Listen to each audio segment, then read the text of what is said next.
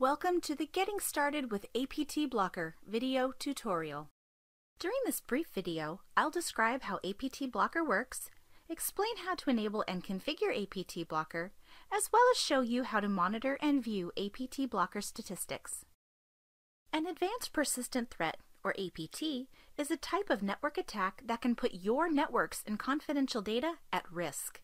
APT attacks are particularly dangerous because once they penetrate a network, they can remain undetected for a long time. Because APT attacks use the latest targeted malware techniques and zero day exploits to infect networks, traditional signature based scan techniques don't provide enough protection. To protect your network from these advanced threats, you need a proactive security solution that can analyze this complex code and identify threats before they can harm your network and data. Fortunately, you can protect your network with APT Blocker. How does APT Blocker detect advanced malware? WatchGuard works closely with our best of breed strategic partner, Lastline, to use advanced full system emulation analysis to identify APT malware before it can harm your network. Unlike other traditional scanners, APT Blocker doesn't rely on signatures to prevent malware. Instead, APT Blocker scans files that are destined for your network and generates an MD5 hash of the file. This hash file is then submitted to the Lastline cloud-based data center. When Lastline receives the hash file, it's compared to a database of previously analyzed files and the scan results are returned immediately. If the analysis shows that the file is a match to a known malware threat, your Firebox will take the action you configure when you enable APT Blocker. The file is allowed through if it doesn't match the results of a previously known threat. But don't worry. Any files that have never been analyzed before are immediately submitted to the Lastline data center where they will receive deep analysis for APT activity. If there is evidence of malware activity in a file that entered your network, you are notified of the threat within minutes. Before you start working with APT Blocker, make sure you have these items. If you don't have an APT Blocker feature key, contact your WatchGuard reseller. You can use APT Blocker with the WatchGuard SMTP, HTTP, and FTP proxies to scan inbound email messages and files. If you haven't already configured one of these proxy policies, you can enable it when you configure APT Blocker. Once you have everything on hand, it's time to get started with APT Blocker.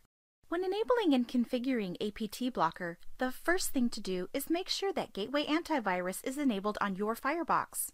Why? Because APT Blocker uses the same scanning process as Gateway AV, Gateway AV must be enabled for the same proxy or proxies you want APT Blocker to scan. For more information about how to enable Gateway AV, see the Getting Started with Gateway Antivirus video tutorial. I'll include a link to that tutorial at the end of this one. After Gateway AV is enabled, you can enable and configure APT Blocker. In Policy Manager, open the APT Blocker dialog box, like this. Select this checkbox to enable APT Blocker. For each APT blocker threat level, you can select an action for your Firebox to perform. If you want to change the default action, use the drop-down list and select an action for each threat level. Because all APT threat levels are considered real threats, I leave the default action of drop for all threat levels. It is very important that you are notified of an APT threat and we recommend that you select the alarm and log checkboxes for each threat level. Click this button to enable email alerts to make sure you know when a threat is detected. Select this checkbox. When APT Blocker detects a threat, I want to receive an email message, so I'll leave this option selected. Now that I've configured the basic settings for APT Blocker, I need to enable APT Blocker for a proxy policy. To do this, I select the Policies tab. Any available SMTP HTTP, and FTP policies that have Gateway AV enabled appear in this list. I'll enable APT Blocker on the HTTP and SMTP proxy policies to protect my web and email traffic, like this.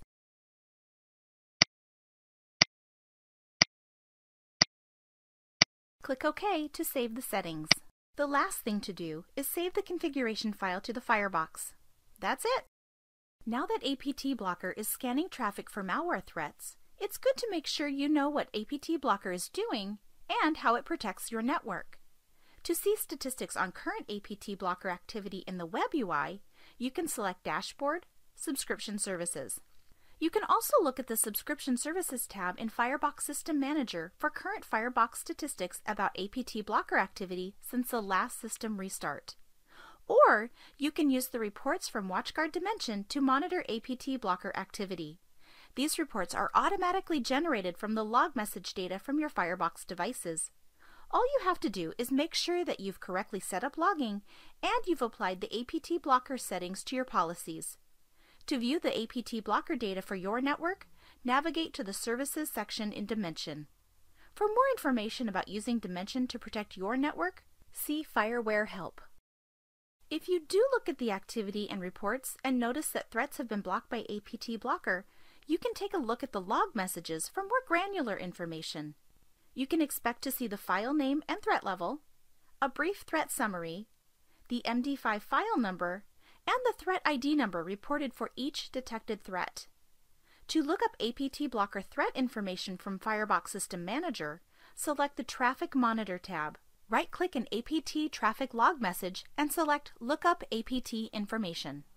To view information about APT Blocker threat actions from the web UI, select Dashboard, Traffic Monitor. Find and click on an APT Blocker log message to see all the details about the APT threat. To learn more about APT Blocker, visit the WatchGuard website.